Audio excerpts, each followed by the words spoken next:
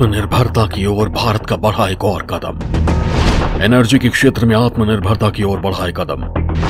Green energy को बढ़ावा देने के लिए बनाई महत्वाकांक्षी योजना। प्रधानमंत्री नरेंद्र मोदी का सपना है भारत आत्मनिर्भर बने।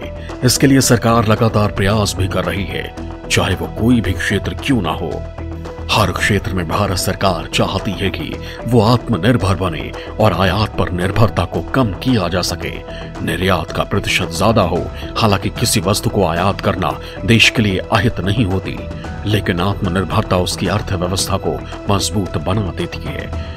हाल फ़िलहाल में भारत जिन वस्तुओं का आयात करता है, उसमें कच्चा तेल भी शामिल है। देश के आयात बिल में कच्चे तेल की हिस्सेदारी बहुत ज़्यादा है, लेकिन जल्द ही अपने आत्मनिर्भरता वाले फॉर्मूले पर कायम रहते हुए ये स्थिति बदल सकती है, जिसके चलते भारत दुनिया में एनर्जी का बड़ा निर्यातक बन सकता है। सरकार ने देश में ग्रीन एनर्जी को बढ़ावा देने के लिए एक महत्वाकांक्षी योजना बनाई है। इस योजना को सफल बनाने के लिए मुकेश अंबानी और गौतम अडानी जैसे उद्योगपति आगे आए हैं। ब्लूमबर्ग की एक रिपोर्ट के अनुसार, रिलायंस इंडस्ट्रीज़ की ग्रीन एनर्जी योजना से भारत हाइड्रोजन के उत्पादन में हब बनकर उभर सकता है। एशिया के सबसे बड़े रईस और रिलायंस के चेयरमैन अंबानी ने ग्रीन एनर्जी में करीब पिछहत्तर अरब डॉलर के निवेश की घोषणा की है, जिसके तहत कंपनी हाइड्रोजन पर ज़ोर दे सकती है।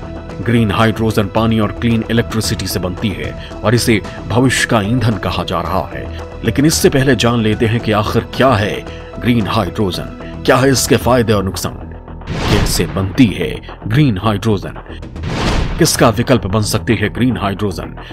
क्या सिर्फ़ फ़ायदे ही हैं ग्रीन हाइड्रोजन की? या हो सकता है उससे कोई नुकसान? जब पानी से बिजली गुजरती है तो हाइड्रोजन पैदा होता है। इस हाइड्रोजन का इस्तेमाल बहुत सारी वस्तुओं को पावर देने में काम आती है। अगर हाइड्रोजन बनाने में इस्तेमाल होने वाली बिजली किसी रिन्यूएबल सोर्स से आती है मतलब ऐसे सोर्स से आती है जिसमें बिजली बनाने में प्रदूषण नहीं होता तो इस तरह बनी हाइड्रोजन को ग्रीन हाइड्रोजन कहा जाता है। फ़िलहाल अभी पवन चक्की और सोलर पावर के ज़रिए एनर्जी पैदा की जा रही है, जिनसे प्रदूषण नहीं होता है।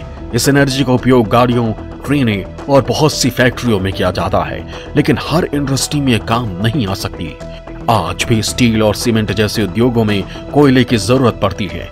वहीं एयरलाइंस और पानी के जहाजों के लिए लिक्विड फ्यूल की ज़रूरत पड़ती है, यानी लंबी दूरी की यात्रा।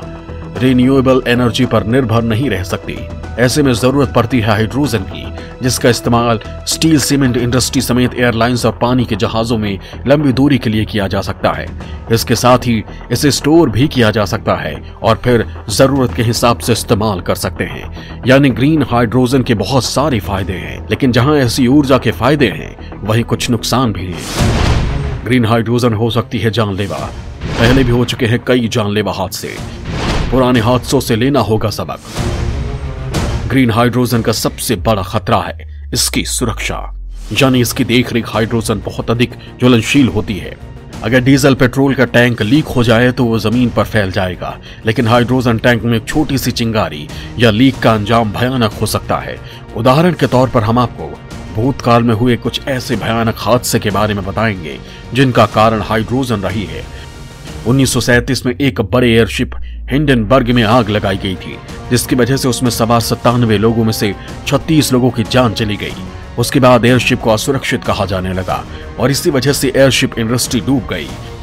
2011 में जापान में भूकंप और सुनामी आई थी, जिसके कारण फुफुशिमा न्यूक्लियर पावर स्टेशन में हाइड्रोजन की वजह से एक बड़ा धमाका हुआ, जिससे रेडियो एक्टिव लीकेज हुआ। लाखों लोगों को वहाँ से हटाया गया और अभी भी उसके असर देखने को मिलते हैं। 1986 में चर्नोबिल परमाणु दुर्घटना ने भी हज़ारों लोगों की जान ले ली थी।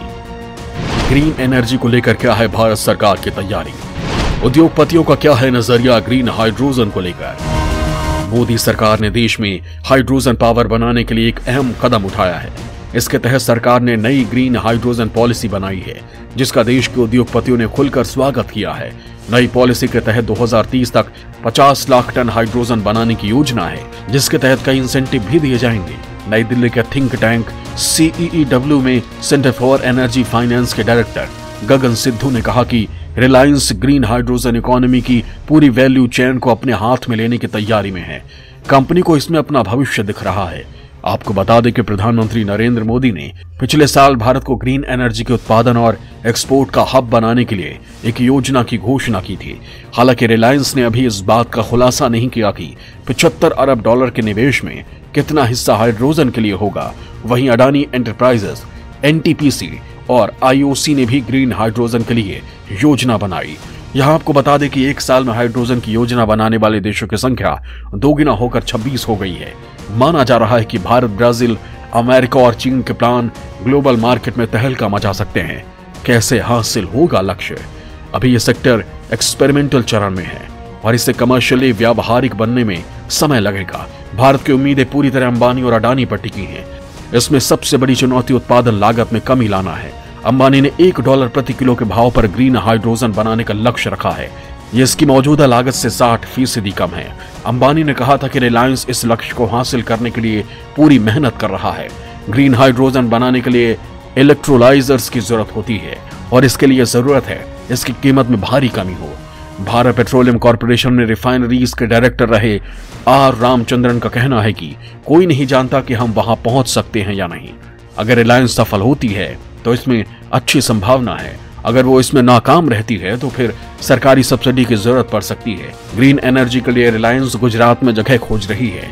उसने कच्छ में राज्य सरकार से चार लाख पचास हज़ार एकड़ ज़मीन मांगी है। वहीं देश की सबसे बड़ी petroleum company, Indian Oil Corporation carbon उत्सर्जन वाली इकाइयों को बदलने के लिए 2024 तक अपनी मथुरा और पानीपत रिफाइनरियों में हरित हाइड्रोजन संयंत्र स्थापित करेगी। कंपनी का मानना है कि हालिया घोषित हरित हाइड्रोजन नीति ऊर्जा बदलाव की दृष्टि से एक महत्वपूर्ण पहल है और इससे लागत को कम करने में मदद मिलेगी। आईओसी के निदेशक शोध एवं विकास S S V Ram Kumar का कहना है कि नई नीति से हरित हाइड्रोजन के विनिर्माण की लागत में 40 से 50 प्रतिशत की कटौती होगी। उन्होंने कहा कि पेट्रोलियम रिफाइनरियाँ, उर्वरक संयंत्र और इस्पात इकाइयाँ उत्पादकों के उत्पादन के लिए ईंधन के रूप में हाइड्रोजन का उपयोग होता है। वहीं रिफाइनरियों में पेट्रोल और डीजल से अतिरिक्त सल्फ़र को हटाने के लिए हाइड्रोजन का उपयोग किया जाता है। मौजूदा समय में हाइड्रोजन प्राकृतिक गैस या निफ्ता जैसे जीवाश्म ईंधन से उत्पन्न होता है और इससे कार्बन उत्सर्जन होता है, जिसे ग्रे हाइड्रोजन कहते हैं। आईओसी ने इस ग्रे हाइड्रोजन को हरित हाइड्रोजन से बदलने की योजना बनाई है, जिसे स्वच्छ हाइड्रोजन भी कहा जाता है। इसमें ऊर्जा का इस्तेमाल नवीकरणीय ऊर्जा स्रोतों, मसलन सौर या पवन से किया जाता है। राम कुमार ने बताया कि नवीकरणीय ऊर्जा की दो रुपए प्रति किलोवाट की लागत उत्पादन स्थल की कीमत है। इसे पारेषण लाइनों के ज़रिए विभिन्न राज्यों में भेजे जाने पर अलग अलग शुल्क लगते हैं। इसके बाद यह लागत चार से सात रुपए प्रति यूनिट हो जाती है। उन्होंने बताया कि कारखाना गेट की लागत चार से सात रुपए प्रति यूनिट पर हरित हाइड्रोजन के उत्पादन लागत पाँच सौ रुपए प्रति किलो आती है। वहीं ग्रे हाइड्रोजन में यह सिर्फ़ डेढ़ सौ रुपए प्रति किलो बैठती है। हाइड्रोजन नीति के तहत हरित हाइड्रोजन के उत्पादन के लिए नवीकरणीय ऊर्जा के खुले इस्तेमाल की छूट होगी और उस पर केंद्रीय अधिभार और अंतर्राज्य पारेषण शुल्क नहीं लगेगा। ये सुविधा 30 जून 2025 से पहले शुरू होने वाली परियोजनाओं पर मिलेगी। इसके साथ ही शेयर बाज़ार में ग्रीन हाइड्रोजन की योजना का असर देखने को मिल रहा है। एनएचपीसी ने शेयर बाज़ार को दी सूचना में कहा कि नई कंपनी का पंजीकरण 16 फरवरी 2022 को दिल्ली और हरियाणा के कंपनी पंजीयक के पास कराया गया।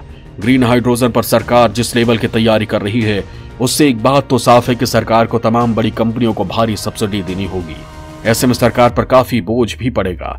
अगर ग्रीन हाइड्रोजन पर खेला गया दाव सही निशाने पर लगा तो इकोनॉमी में काफ़ी बूम आएगा, लेकिन अगर हम फेल हो गए तो ये भी तय है कि अर्थव्यवस्था को गंभीर चोट पहुंचेगी। अगर ग्रीन हाइड्रोजन पर भारी भरकम निवेश भी काम नहीं आया तो बिज़नेस को बचाने के लिए सरकार को ही पैसे देने पड़ेंगे।